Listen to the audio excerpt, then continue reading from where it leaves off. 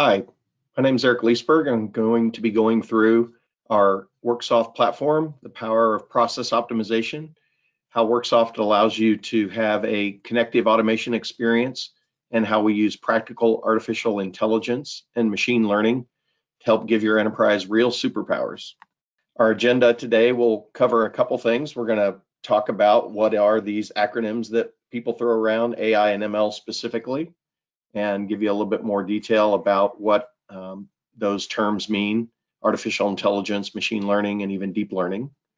We'll give you an overview of the Worksoft Connective Automation Platform, and then we'll talk about the three pillars of our connective automation platform, specifically test automation, robotic process automation, and process intelligence and our ability to give you a 360 view of your organization. And finally, we'll wrap up with a quick summary and some questions. Let's start with AIML. What are these terms that people seem to be throwing around so loosely these days? So this goes all the way back to the 50s, kind of early research. If you knew Alan Turing or ever watched the movie about his life, um, the goal was to, for him, was to break uh, the Enigma uh, code that the Germans were using to communicate during World War II, and being able to have computers do some of the things that appear uh, at least to the outside, that it's uh, it's the same as what a human would do. So how can you get a human to uh, display or show artificial intelligence just the way that natural intelligence is displayed by human beings? And this research went on for decades, and then over time, that ability to sort of work with uh, more and more complex data became more and more possible as machines became more powerful, as uh, random access memory and storage became uh, bigger and more robust. And so that morphed into machine learning, where artificial intelligence is still a term used, but machine learning goes a little bit deeper.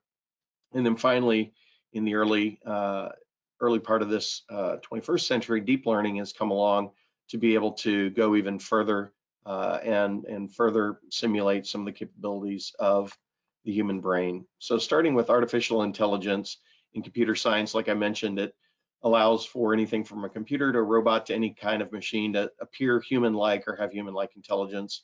And this has become more and more common in our everyday lives. Uh, so if you've used uh, different technologies like Alexa or Google or Cortana or other uh, sort of speech-based natural language processing technologies, or maybe you've done some image searches on Google to find family members, hey, show me all the pictures on my phone uh, of my children or of my favorite pet. Uh, those are the kind of things that are using some of this artificial intelligence capability. Machine learning takes it a step further uh, and is based on simulating the neurons in the brain to create neural networks. Uh, and this is basically uh, broken into three layers, an input layer that receives the data from uh, the outside world uh, in various means, visually or through textual data or other types of data. Then, of course, um, there's a hidden layer that takes that information and uses different algorithms and weightings and thresholds to be able to understand what's important to pass through to the output layer and what maybe needs to be filtered out. And then of course that output can be can be displayed visually or can manipulate data or aggregate data and things like that. And so that's the concept between machine learning and you'll see a lot of different subcategories of machine learning out there from supervised to unsupervised to reinforced learning and different subcategories.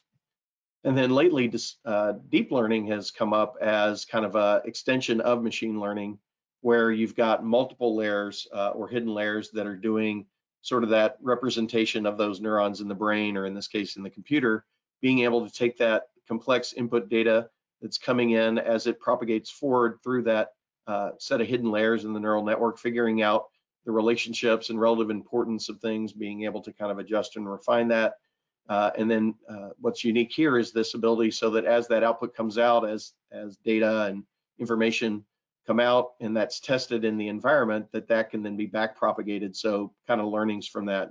Say, for example, you uh, as a child maybe noticed that uh, the stove looked kind of interesting as it glowed hot. And then as you got near it and touched it, you realized, oh, that actually hurts. I shouldn't do that. So computers have the same way of kind of trying out their uh, approaches, seeing if that works. If it doesn't, being able to get feedback either uh, naturally uh, from the environment or from humans even.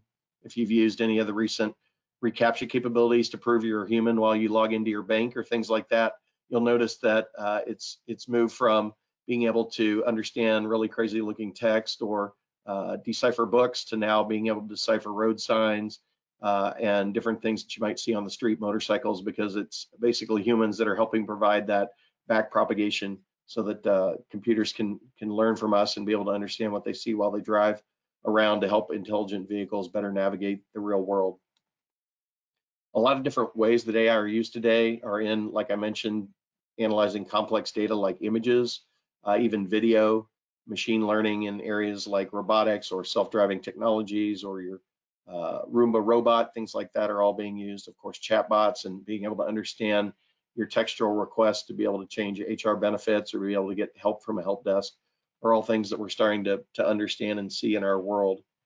And so there's a lot of use cases in uh, business and in the enterprise as well as in the in the public space, from uh, fraud detection to just optimizing supply chains, understanding uh, how your customers and your partners interact with you and how your uh, employees and your organization actually does and carries out business and provide you some richer insights into that, which we'll show you a little bit later with some of our capability. But these are all the areas that uh, AI tends to fall within.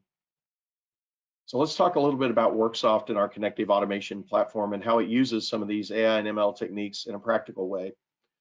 Worksoft has been around for over 15 years. We've worked with some of the largest uh, global companies, but we also work with uh, medium to large regional uh, companies, uh, both in the public and private space. Uh, we've uh, been in, in all kinds of different verticals from telecom to technology to energy and healthcare. And a lot of our companies focus on being able to test across a, a wide variety of complex applications. Some of these are custom homegrown apps built in-house. Others are packaged applications like SAP or Oracle uh, or Workday, uh, various various stacks and technologies are all things that we work with from day to day with our customers. And so we have a lot of experience being able to understand these applications, how the business uses them, uh, be able to discover that information and quickly build documentation, test automation assets, and also robotic process automation assets, uh, or basically automation in production.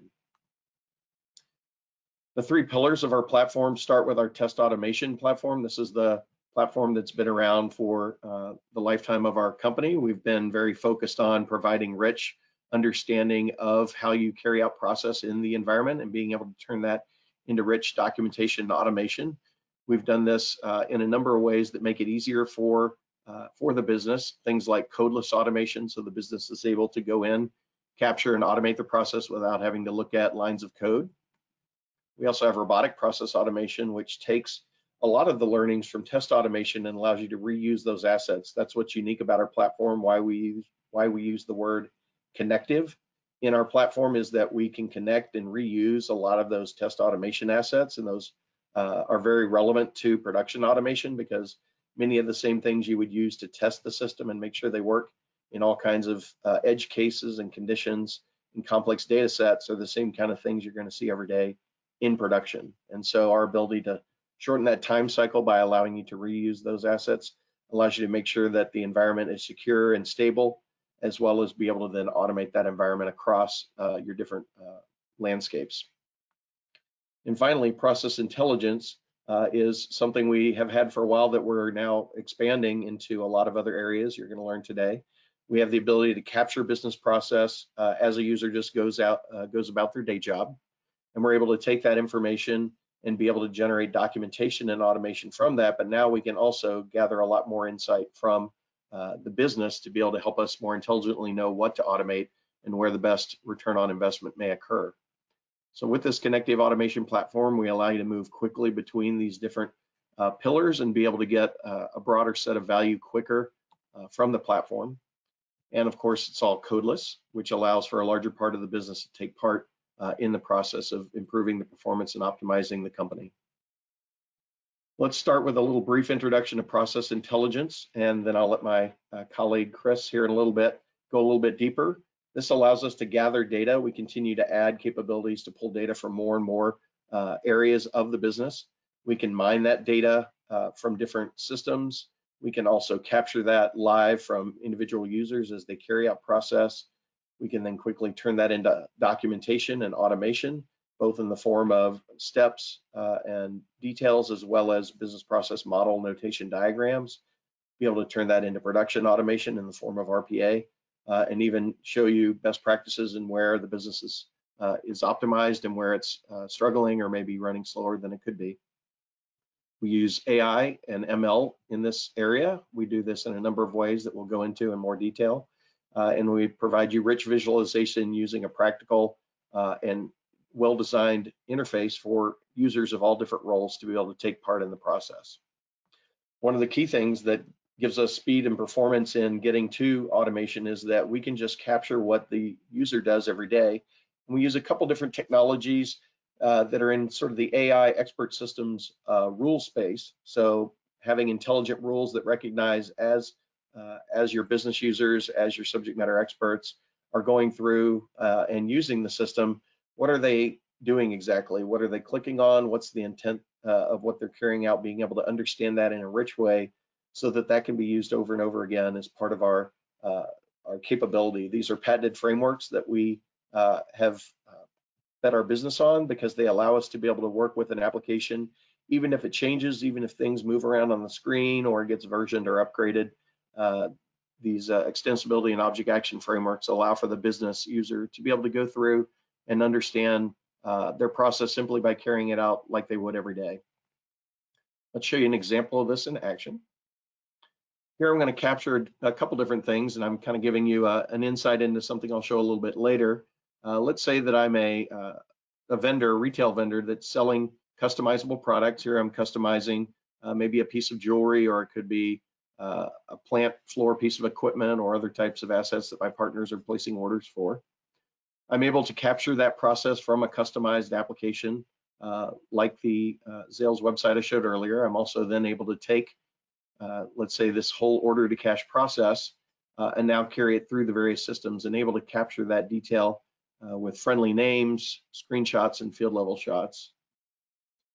Here I'm in Salesforce going through and taking that uh, order and now turning it into uh, a new opportunity, a new sales opportunity in Salesforce. So no matter what the system is, from custom web to packaged Salesforce web running in the cloud uh, to on-prem systems, we're able to work with those.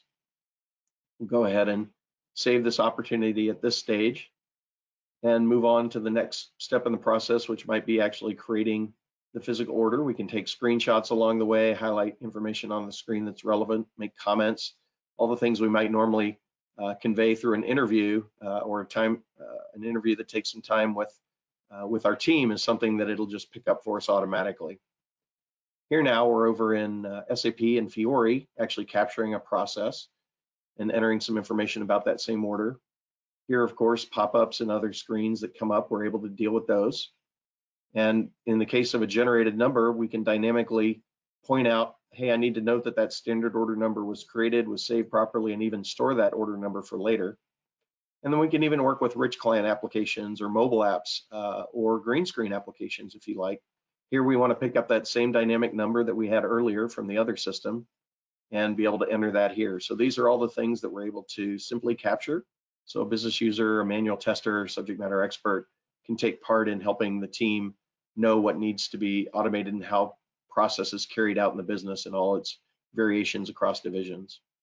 Then, of course, it generates rich documentation, screenshots, as well as individual fields, text boxes, buttons, objects, uh, drop-down controls, and a rich English narrative of exactly what we're carrying out, and uh, even a signature and sign-off area. This is used very commonly by our customers for training, for compliance, for requirements gathering, user story uh, writing, test case gathering because you've got all this rich documentation that just comes as a link in your email after you're done capturing. So this is one form of being able to speed automation using practical AI and ML. Now let's go into where we use uh, artificial intelligence and machine learning in the test automation space. Here, we're able to take, as I showed, all of this uh, great automation that we've captured uh, and turn it into variability that runs in the test environment this allows us to be able to carry out all kinds of different tests from unit to functional, all the way up to integration, system, and regression testing. Uh, even things like user acceptance, positive, negative, or role-based security testing and end-to-end testing are all things that we're able to do. We're even able to carry that over into the production space. And this is where you can start to reuse some of the same assets across the environments uh, and even across production, uh, test, QA, and the like. This, of course, really increases the speed. We typically find uh, that our customers are saving anywhere from 3x uh, plus in time and effort to be able to create this automation and be able to capture that. And one of the ways that that happens is when we uh, captured various processes from the business, we want to know, is this something that we've maybe already built or someone else had already captured uh, prior, and we want to just reuse what's out there. So we have this rich capability called AI search, and this allows us to do a fuzzy match on anything that might already be in the system that's already being used to automate test or production. We're able to recognize anything new that the business has captured and uh, look at what we already have in our library, uh, do a quick centralized search since we keep everything in a uh, database that's easily searchable. We can figure out how much of a match do we have? Can we reuse what we already have or do we want to take this new captured process because it varies sufficiently uh, and turn that into automation quickly with a button click. What we use is a couple different uh, capabilities. We go in and take the various information about the applications that are being captured, the windows uh, that are on the screen, the specific objects or controls or buttons that are visible uh, or even hidden. We're able to take that information, understand that, uh, look at process and sub-process details and do some rich searching. We have uh, unique use of uh, Needleman-Wunsch algorithm that has been used in uh, biological problem solving around protein and nucleotide sequencing, or you can think of uh, DNA sequencing, and the need to be able to use those kind of algorithms to match up uh, protein sequences are the same kind of mechanism we use to match up business processes. This allows us to be able to quickly go in and review a set of processes that we've recently captured, compare those to our uh, entire library of processes and figure out where the near matches are so that we can then review and verify are these matches close enough to reuse or do we need to go ahead and bring in that new process uh, quickly and be able to use that. So let's show an example of this in action. Here we've got a process that we've already captured, the one from before. We can then store that, review the documentation, and now we want to bring that into our automation environment. This quickly can be imported from our uh, stored central repository. Once we bring that information in, we, we compare different steps. We can compare the entire process or specific sub-processes. Here we're reviewing that SAP process, uh, create an outbound delivery. So we can review, hey, how similar is that to this other process that seems to be a near match? We can actually view uh, side by side the source and the target and see exactly which steps were added or removed and see if that's similar enough to be able to be part of our reusable automation. So this again allows us to be able to quickly move uh, through the automation and be able to reuse as much as possible, saving even more time. Our next pillar is robotic process automation. Uh, and in the RPA space, there's quite a bit of focus on using AI and ML uh, with all the different uh, large data sets that exist out there and all the complexity in the production environment. It's important to be able to find uh, innovative ways to be able to handle complex scenarios. In the RPA platform, what we're doing is taking all of the learnings that we've uh, had from test automation and we're applying that to the RPA space in an intelligent way. We realize that when you move from test automation to production automation, you have a lot more uh, requirements around things like security, auditability, uh, being able to orchestrate that and uh, and deal with compliance and other types of uh, criteria that come from the security teams or from the business audit teams. So we've provided a richer capability here with our orchestration feature that allows us to be able to create a workflow that the automation goes through. And we're able to reuse uh, a large percentage of your test automation assets to build production automation and obviously changing out the pieces to the production automation that may differ. Things like where do I get my data? Uh, where am I going to send results? Uh, in many cases, that might be uh, email based versus database based, or it might be API calls uh, or it may just be uh, less human interaction uh, in an RPA scenario.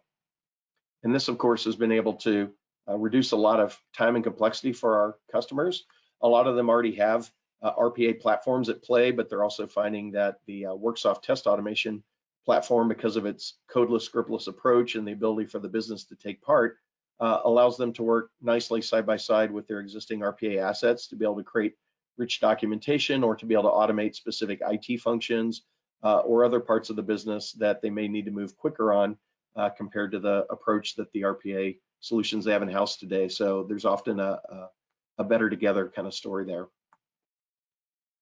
In uh, many of these scenarios, there's a need to be able to look at complex data on the screen in the form of visual uh, visual icons or visual information and be able to uh, pull out specific data, maybe using optical character recognition uh, called OCR, or be able to just verify has something changed on the screen or not appeared on the screen the way we expected, and to be able to use the way that the human eye can look at things, but allow for the computer to take some of that uh, burden off of manual test teams and manual uh, automation teams to maybe review that through a control tower or other interface.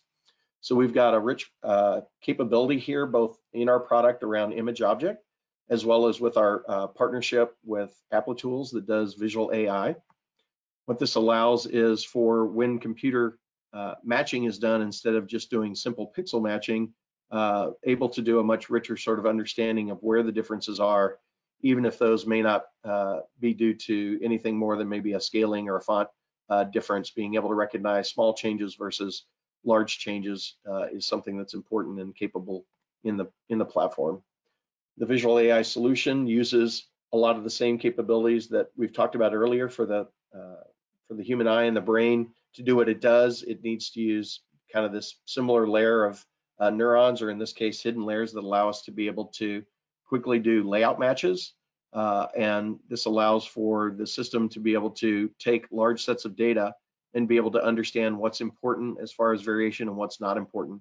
This information is centralized and then compared and continually improved. So this learning within the environment keeps uh, increasing as more and more uh, of the business and the users use the system, more that learning feeds back so that uh, as uh, a human verifies something on the screen, just like in the reCAPTCHA scenario where we're trying to tell the computer what's a uh, motorcycle and what's a street sign, the same thing here, if I notice that the computer thinks that this difference is critical, but I don't think it's that important, I can provide that feedback information that'll back propagate to allow the improvement in the learning of the system going forward. So what that allows is for, even if there's pixel differences, for it to be able to recognize those differences in an AI method, and then be able to highlight that information. So here you can see uh, if for whatever reason the uh, system notices that the spelling uh, is off or uh, or turn in this case, the P is a Q, it'll recognize those differences and compare those side by side. Here, if the A is an O uh, or there's other minor differences that are important to point out, those can be highlighted with red circles. You can even go back and forth between the differences to see what the computer sees and say, you know, that's that is an important uh, issue that we need to resolve, or hey, it's not really that big a deal. Ignore that in the future. So it'll take that into account. And in the Worksoft platform, platform, we've got image object capabilities. This allows us to be able to work with uh, various kinds of image data, uh, the entire screen or subsets of the data. It allows us then to pull information off of uh, the screen itself to do optical character recognition. So if it's a maybe a, a PDF form or some kind of textual information, like in this case, um, information on the product itself that needs to be read and compared, we can do that visual verification. We use the Google Tesseract uh, OCR engine uh, as part of this capability to be able to do ad adaptive clustering, which allows us to understand what's on the screen and be able to work with that in an intelligent way. If we see issues, we can highlight those as failures so that uh, you can review and decide if that's an important thing uh, to note as a bug or to uh, consider normal and to skip in the future. So we can support those kind of scenarios. Uh, and then of course we integrate uh, richly to be able to carry out both kinds of automation, whether it's visual AI uh, or optical character recognition and image matching uh, to be able to carry out process on uh, visual screens. With that, I'll hand the presentation over to my colleague, Chris Bodum. Thank you, Eric.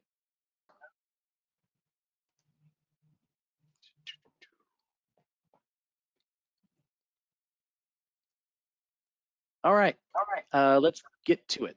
All right. Um, so we've seen this earlier. We're going to talk a little bit more about um, process intelligence.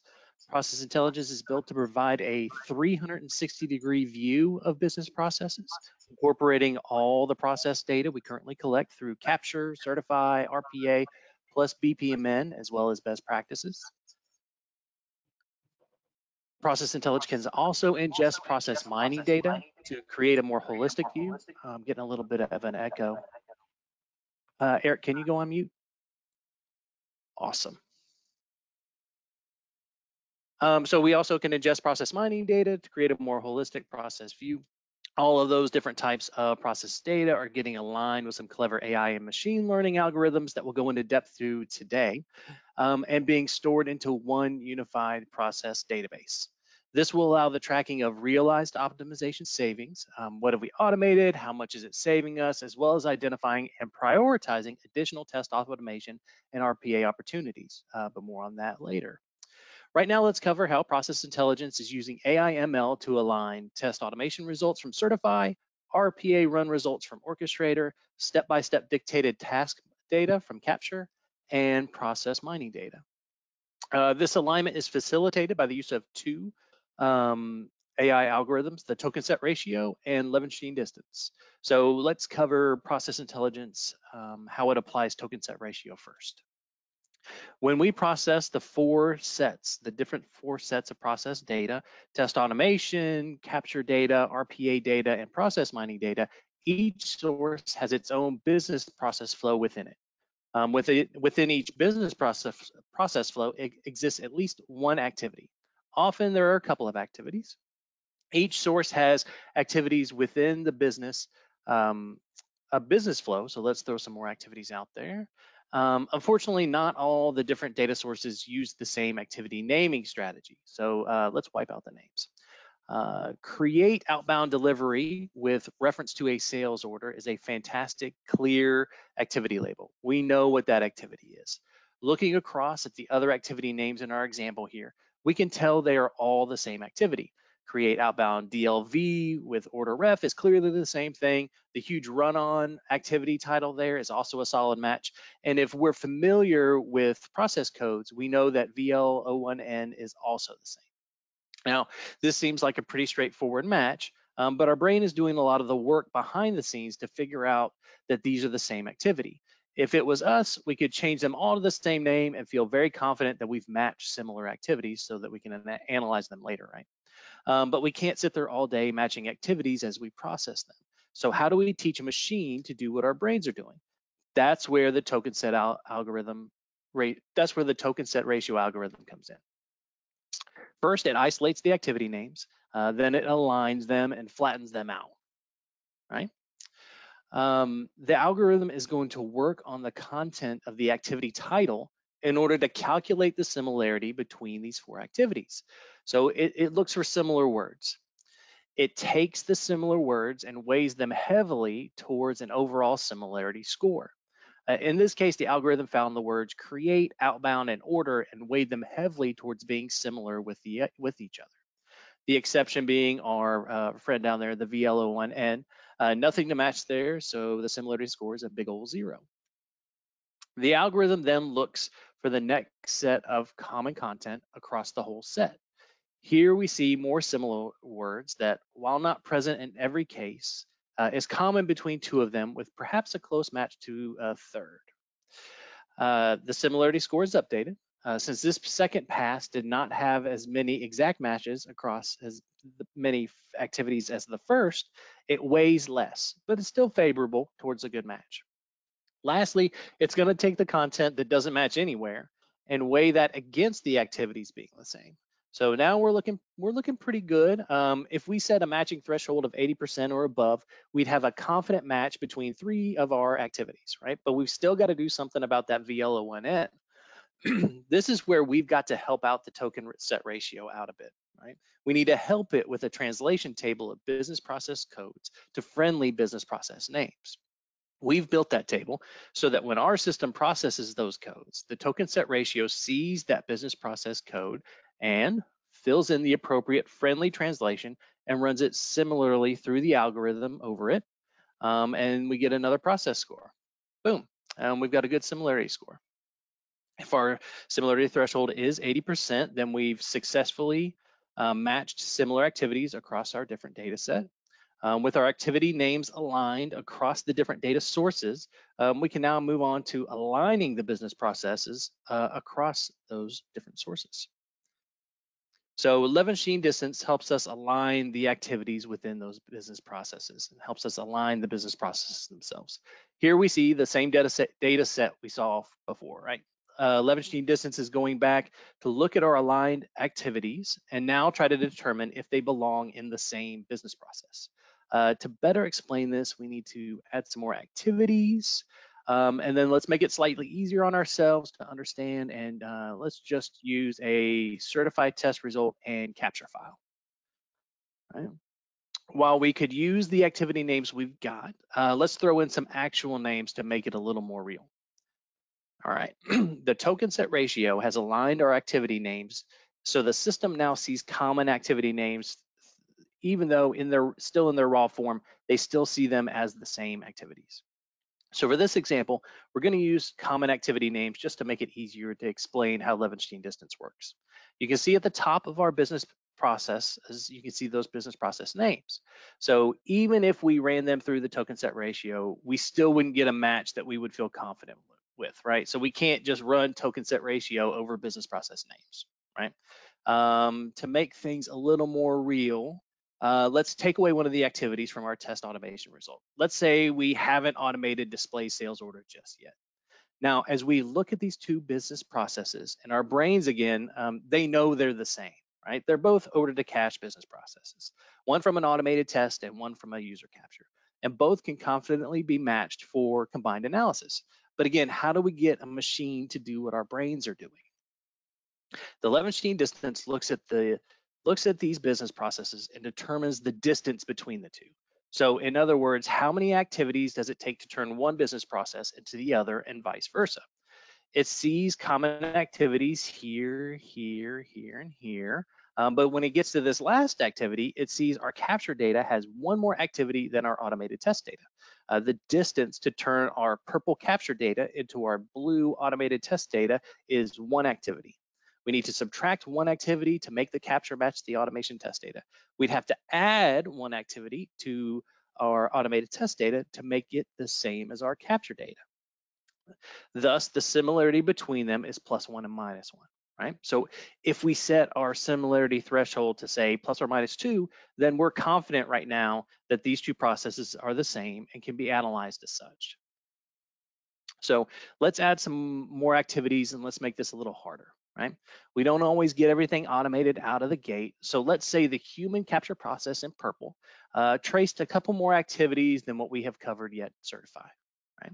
Uh, Levenshtein distance would look at these two data sets, find the matching activities, and then notice that there are one, two, three activities that don't exist um, that exist in our capture data and don't exist in our blue certified test data.